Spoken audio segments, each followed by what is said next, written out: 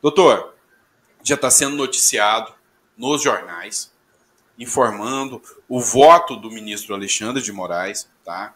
E eu até falei, fiz um vídeo anteriormente falando que eu vi o voto do Alexandre de Moraes, que dessa vez ele não seria tão político e seria mais jurídico, porque a gente vê que o STF tem, tem um viés político na, na, tomada de decisões. Que algumas decisões nem podem impactar muito é, o governo, porque senão poderia até causar um caos, né? Mas eu, eu já vi aquela previsão e falei, olha, eu eu chuto a bola aqui que o Alexandre de Moraes vai dar o voto favorável porque ele não vai passar a mão no governo, até por divergências políticas e tudo. E o voto veio. Então, a minha pergunta é: nós temos o voto do Alexandre de Moraes, que foi o voto de Minerva, mas ainda assim nós não estamos com tudo, como se diz, né? não estamos com a taça na mão, né? Ainda tem mais coisa para acontecer, mas está bem encaminhado. Estamos no 45 do segundo tempo, com vitória chegando. Mas eu queria que o senhor explicasse o que pode acontecer, o que, que falta, como que isso aqui pode é, crescer ainda ou evoluir ainda para, enfim, chegar na revisão da forma que a gente espera. Muito bem, o, o, o doutor Sandro nós estamos, não pegamos a taça né, nas mãos ainda. Nós estamos nos, nos 44 minutos do segundo tempo, formou-se maioria, ou seja, hoje o aposentado, com a decisão que está lá, ele tem direito à revisão, porém isso tem que ser concluído. Essa conclusão vai acontecer na terça-feira, dia 8 né, da próxima semana, às 23 horas e 59 minutos. Acreditamos que não haja nenhum destaque, só para que a audiência entenda, para você que está nos assistindo, algum ministro pode dizer o seguinte: olha, eu acho que esse assunto é muito complexo para a gente decidir num ambiente virtual. Virtual é o seguinte: cada ministro nas suas casas, cada um vai lá e insere o seu voto, a sua decisão, né, concordando ou não ali com o relator. Se algum ministro fizer esse pedido de destaque, anula, volta e estaca zero, zero, zero, zero Aí vai ter que ser pautado novamente esse tema, pode ser para esse ano, ano que vem, daqui cinco anos, daqui dez anos, enfim. Mas a gente torce para que isso não aconteça. Vamos aguardar o dia 8. Bom, enquanto isso, muitas pessoas no Brasil inteiro estão aí se perguntando: eu tenho direito, eu vou ter direito? Então vamos aqui resumir rapidamente para você poder se identificar, identificar se, se o seu caso se amolda a esse tipo de revisão, porque não é 100% dos aposentados e pensionistas que terão direito.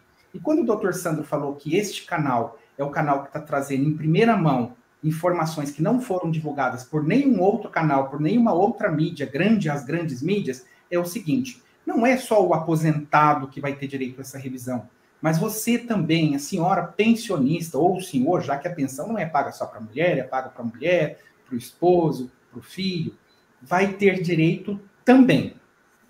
Só que é o seguinte: é, a, a pessoa que, come, que começou a receber aposentadoria ou um benefício auxílio-doença, que hoje chama auxílio incapacidade, ou auxílio acidente, quem recebe vai saber o que eu estou falando aqui, é uma indenização paga pelo INSS para quem se acidenta, ou a, a, a, pensão por morte, como eu disse, ela tem que ter começado a receber esse benefício a partir de novembro de 1999 a partir de novembro de 1999, tá? Por óbvio, essa pessoa que começou a receber a partir de 1999, ela contribuía para o regime da Previdência antes de 99. E por que, que nasceu essa revisão? Qual que é a tese? O que, que, o que, que nós, advogados, estamos sustentando há mais de uma década no Poder Judiciário? Que o aposentado ou o pensionista, quando ele vai né, requerer a sua aposentadoria ou a sua pensão ou seu auxílio-doença, vamos falar em auxílio-doença, porque as pessoas conhecem mais como auxílio-doença, a legislação, essa de 1999 que nós é, impugnamos, ela diz o seguinte: ela tem duas regras. Ela tem uma regra para quem começou a contribuir a partir de 99 e uma regra para quem começou a contribuir antes de 99, tá? Que são esse grupo que vai ter direito à aposentadoria, à revisão.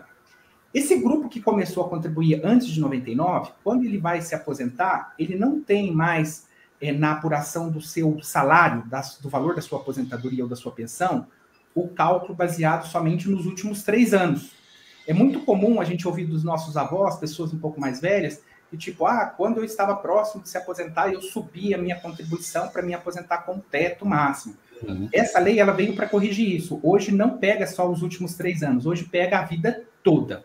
Só que para quem é. É, começou a contribuir antes de 99, criou-se uma regra de transição dizendo o seguinte: olha, para você que já estava no sistema, não vai ser a vida inteira, não. Se você começou a contribuir em 1980, não vou pegar desde 80. Eu vou pegar só do plano real, julho de 94. Mas muitas pessoas contribuíram muito bem, até porque antes existia a possibilidade de contribuir em dobro, lá até 1994. E essas contribuições, então, ficaram de fora. Vamos para um exemplo prático, porque de repente, falando, falando, você aí que está nos assistindo pode não entender. Vamos imaginar que o senhor ou a senhora começou a receber uma aposentadoria ou uma pensão por morte em, mil, em 2002, tá? Em 2002. O que o INSS fez? Ele pegou todos os seus salários de contribuição, salário que você recebia na sua empresa, né? Ele foi lá e pegou aquelas contribuições que você contribuiu com a Previdência no período de julho de 94 até do, o ano de 2002. Portanto, né, seis anos, sete, oito anos, 12 anos, né? Quando é, o certo seria ele pegar todas as contribuições também anteriores a julho de 94. Por quê? Porque se você contribuiu muito bem com a Previdência Social até 94, vamos a um exemplo, e tem milhões de pessoas que aconteceu isso.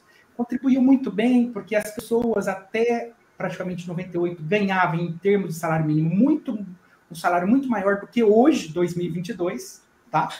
É um mecânico que trabalhava numa grande indústria automobilística ganhava lá 20 salários mínimos em 94. Hoje, esse mesmo mecânico ganha 6, 7 salários mínimos. Então, uhum. tem um grupo de pessoas que contribuiu muito bem antes de 94 e esse grupo vai ter direito. Então, se você está recebendo uma aposentadoria e você começou a contribuir com a Previdência antes de julho de 94, tá? Pode ser você está no grupo de pessoas que podem ter direito à revisão. Bom, Fernando, e para mim saber se realmente é vantajoso, se é, de repente as minhas contribuições anteriores a 94 não eram interessantes. É interessante fazer-se um cálculo, tá? Mas é possível também fazer o requerimento da, dessa revisão também sem o cálculo. Por que eu falo isso, Sandro? Doutor Sandro? Porque, assim, é difícil, o aposentado hoje já tem todas as suas dificuldades, vocês sabem muito bem disso, uhum. vocês estão lutando né, para o 14, vocês já conseguiram, enfim. E, e, o aposentado hoje tem o consignado, então tem muitos aposentados hoje que sequer tem um real no bolso. E de repente vai ter que desembolsar um valor para pagar alguém, para fazer um cálculo, para saber se vai ter direito ou não. Então eu estou aqui para dizer o seguinte: é possível você fazer o cálculo para ter a certeza, mas é possível também pedir a revisão mesmo sem o cálculo, tá? Porque algumas pessoas falam: olha, não entre no INSS ou na justiça sem o cálculo, porque seu benefício pode reduzir. Reduzir não reduz. Tá? Doutor, então, essa era a minha pergunta. Eu, eu, eu sou tributarista, então eu estou perguntando para quem é, é, fera no negócio.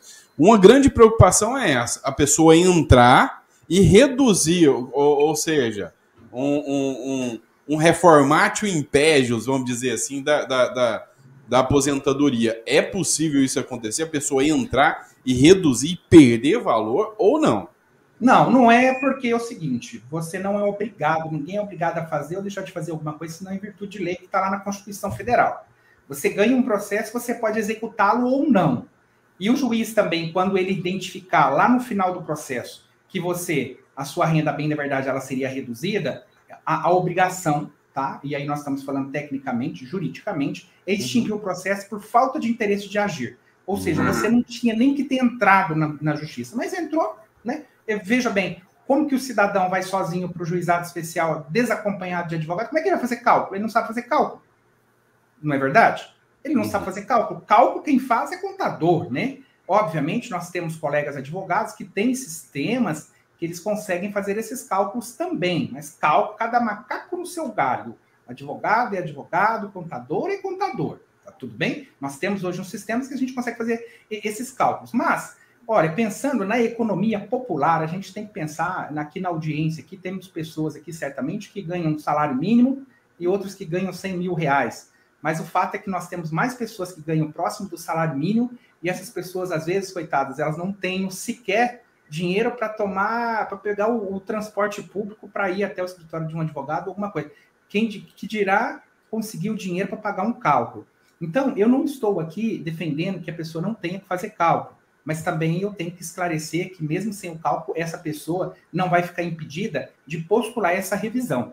Tá? Essa revisão ela pode ser, inclusive, postulada inicialmente perante a Previdência Social sozinha, de próprio punho, né, desacompanhada é, de advogado. Né? A, a, o INSS, é bom nós lembrarmos aqui, né, doutor Sandro, ele é um serviço gratuito, ele não exige é, é, procurador, mas por óbvio, assim como quando você vai emplacar um carro, você prefere procurar um despachante para ele fazer toda aquela burocracia. Não tem nada de errado andar acompanhado de um advogado é sempre melhor. Sempre, sempre. Comprar um imóvel na mão de um corretor é sempre melhor, sabe? Consultar um médico antes de tomar um medicamento é sempre melhor ainda que o farmacêutico o indique.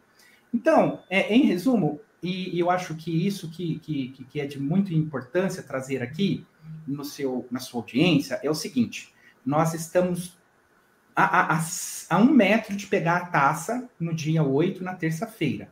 Até lá, nós estamos nos 42 minutos do segundo tempo, pode vir um gol ainda contrário, e aí a gente né, empatar ou perder o jogo. Mas tudo indica que essa decisão será mantida, tudo bem, pessoal? Aí sim, aí vocês já podem começar a provocar o INSS ou mesmo o próprio Poder Judiciário. Mas até lá eu, eu, eu diria que é melhor esperar, até terça-feira, poxa, tem menos de uma semana.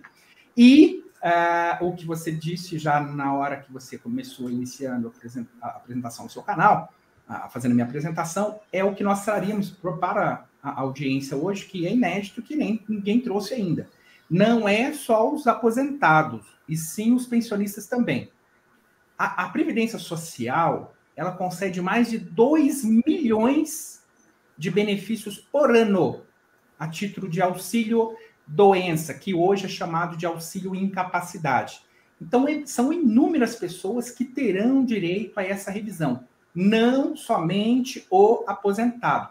Então, você que recebeu um auxílio doença, ficou recebendo por um, dois anos, e não recebe mais, já está trabalhando, você vai ter direito a essa revisão. Poxa, mas eu não estou recebendo mais nada da Previdência. Não tem importância, você pode ir lá e postular essa revisão. Olha, o meu pai é pensionista, minha mãe é pensionista, ou eu sou pensionista, eu também vou ter direito? Olha, se você é pensionista, é porque alguém, algum ente querido faleceu, né? O seu pai, sua mãe, o seu esposo, o seu cônjuge, o seu companheiro. Se ele faleceu, ele contribuía com a Previdência. Se ele contribuía com a Previdência e começou a contribuir antes de, antes de 1999, melhor ainda, antes de julho de 94, você também está nesse grupo que pode ter direito à revisão. Então, acho que essa aqui que era, vamos dizer assim, a boa notícia aí para quem está no canal, porque esse grupo realmente estava sem esse tipo de informação, tá bom, doutor Sandro?